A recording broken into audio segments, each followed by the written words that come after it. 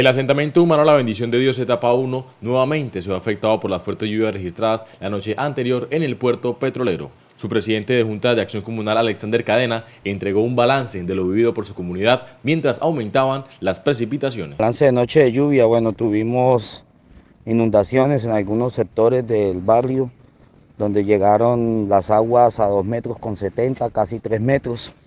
En algunos sectores donde menos se inundó, llegó a un metro afectando a todas las familias. Tuvimos muchas emergencias por casos de tres recién nacidos que tenemos en el sector, eh, muchos niños, adultos mayores, pérdida total en muchas casas. Aseguró que la respuesta por parte de las autoridades tiene falencias, ya que estas, al parecer, solo ingresan hasta cierto punto en el barrio. Lamentablemente, pues hay que decirlo, o sea, hay una, hay unas falencias hay unas falencias. Eh, bomberos estuvo, pero no pudieron ingresar, tienen orden de no ingresar hasta cierto nivel, porque si no ya corre por responsabilidad de ellos. Lo mismo la policía, vinieron, pero lo mismo, ingresan bajo su propia responsabilidad.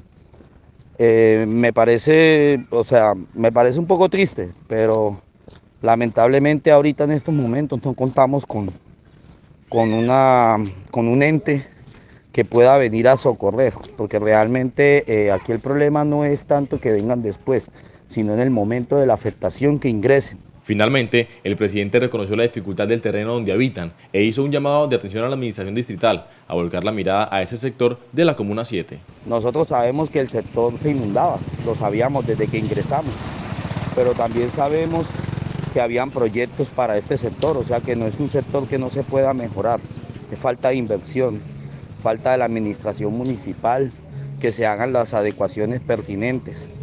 Ya llevamos muchos años y es muy triste y lamentable saber que ninguno de, estos entes como bomberos, Cruz Roja, eh, X, X entes no tengan una canoa para venir a, para venir a socorrer a la gente cuando cuando pasan este tipo de afectaciones. Desde las noticias seguiremos pendientes al desarrollo de esta información, así como de las emergencias que se puedan presentar en el puerto petrolero.